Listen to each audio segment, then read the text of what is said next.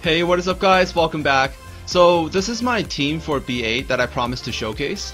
Um, I originally was planning to use this team for B10. It can farm B10 but it's not really stable. This team farms pretty B8 pretty stably. Like I basically just run two nukers, um, a healer and an aggressor. Like this is this comp is bad. All right, it has nothing in common. Like no, none of these monsters have any sort of synergy. Um, they they basically just go in and do their own thing. I guess I kind of just brute force through it with um, you know, with slightly better gems. I'll, I'll definitely showcase my gems after the after the run, but I guess most of you are pretty familiar with it. I, I did show it a few times in my my update videos.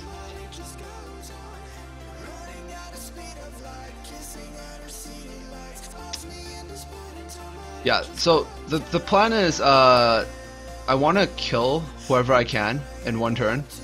Like in, in turn one, my Arthur can stun one guy, and then hopefully either one, like two of the other units will hit someone else, and we'll just straight out kill them. And then this way I only have to deal with two people. Man, these these moonflowers are so annoying. Well, at least it's not the dark one. It's the it's the light one on B8. But I think B8 is mostly about damage. Like it's about um, it's about running, running, um, you know, a, a lot of units that can do really really high damage like really fast. Because the boss isn't all that tanky. Like he's actually really really squishy, but he does a lot of damage. So like you can let him like even kill one of your units and just have the other three like kill him in three turns or some something like that. Um, I've had a few runs before. Like I, I was doing this before when my Wild Things was was uh, five star. But ever since I got her to six star, it's been completely stable. Because even if anyone else dies, she's able to you know finish off the boss by herself. Um, you know because of the self sustain. I kind of run the same thing for B, B9. I'm not sure if you guys want to see it. Like it's uh, it's pretty much the same. It's exactly the same as this. I guess I can do a run of, of that as well. Um, I'll showcase my runes in between, and then I'll do a run of of B9 right after this one. So I think it's pretty fast. I don't think it's it's all that slow. It's pretty it's pretty decent. It's clear time. So if if you have really if I have like really good luck, they have their AoEs out this turn, and then they can just kill the two things on the side, and then they can kill the boss really really fast.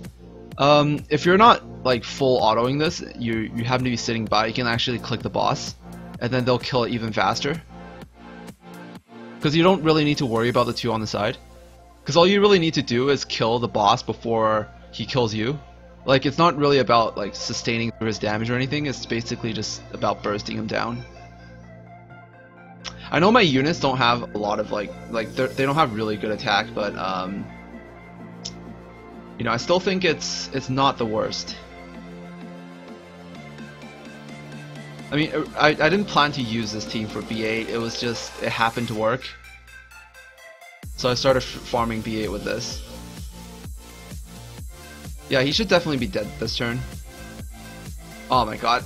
Just a little bit left. One, one more unit crit, he would have died. So yeah, my gems are really bad. Like, they're actually really, really bad. Um, on a lot of my units, they're, they're, they're just not good. But you know, I still think it's okay. It's not it's not the worst thing in the world.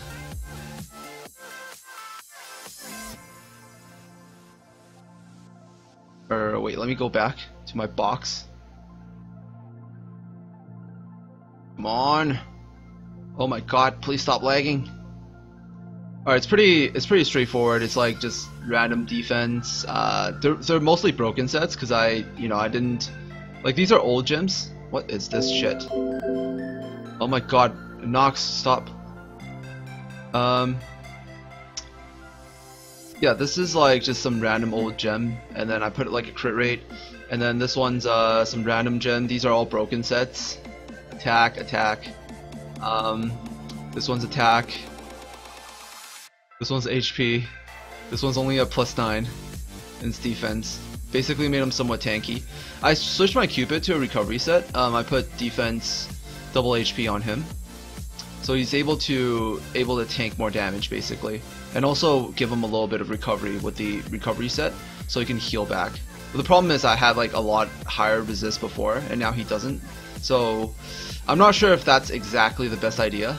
but it's been working so far, and I'm just basically using it to farm um, farm farm B8. All right, so I think this this team works really well on B9 too. Like it, it can pretty much do the same thing because I'm also running two fire units. So B9's uh, B9's a lot easier, I think, because they do less damage to me, and my both my dark units are really tanky. So you like even if they hit my fire units, it's completely fine.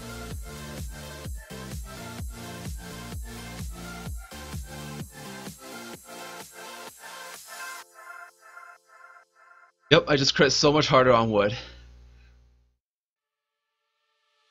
The the problem with B9 is if you do it on full auto, it takes a long time. Um, because of the one unit on the side, like the the the right one, the right one um, on the side on the boss level, like it's really really tanky. It actually has more defense and HP than the boss, and I don't know why they, designed it like that. It's ba basically designed so you you're not supposed to kill it. Um, yeah, but it's just it's just there and just really just always bugging bugging me. Um, and my damage is kind of split in half because they have like a 50% chance to hit the boss and another 50% chance to hit the the unit on the side. So if you're like sitting down beside uh, you know while you're playing like if you're if you're if you're just watching it while while farming, um, definitely click the boss because it just takes a lot less time. Oh my god, what is that triple sleep? I wish there was more units with like two turn CCs. I would have loved to use those. Alright, so the one on the left is actually really easy to kill, but the one on the left um, is really, really tanky. Like, it's actually tankier than the boss. It's not that bad if you actually have an armor break, I think, because you can armor break it and you could probably kill it and like, because if, if it's armor broken, all your unit, like most of your units are going to be focusing on it. Um, Actually, no, your units still attack whatever at random. I don't know, I don't get how the AI in this game works, like, it just seems completely random. Really, really dumb. Um, but yeah, my damage is kind of split in half, because, you know, it, it's attacking the one on the side. Um, what you can do is actually you can just click the boss if you're sitting nearby, and it will basically cut this, the, the whole time of the boss fight in half, um, if you do that. Maybe even more. Because it might actually take longer for you to kill the thing on the side. Like, if RNG is really bad, um, all your units are going to be hitting the the the one the the the uh, sentry thing on the side. Yeah, so you can just keep hitting the boss instead. It's pretty bad if someone dies. Like, if someone dies, my Wild Fang can still finish it off. But it's just it just takes so long. It takes forever for for me to actually do this. If I'm doing it on full auto. Yeah, that was that was that was pretty much it. That's how I farm B8 and B9 now. Um, yeah, I definitely don't regret six starring the Wild Thing. It did make my runs a lot faster. But I, I am starting to try and move on to B10 now. Um, definitely gonna farm B8 and B9 a lot more to, to get gold and also some some square and triangle gems. But yeah, that's pretty much it. So hopefully you guys enjoyed this video. If you guys liked it, liked it. If you guys didn't, um, dislike it. And I'll see you guys in the next one. Peace out.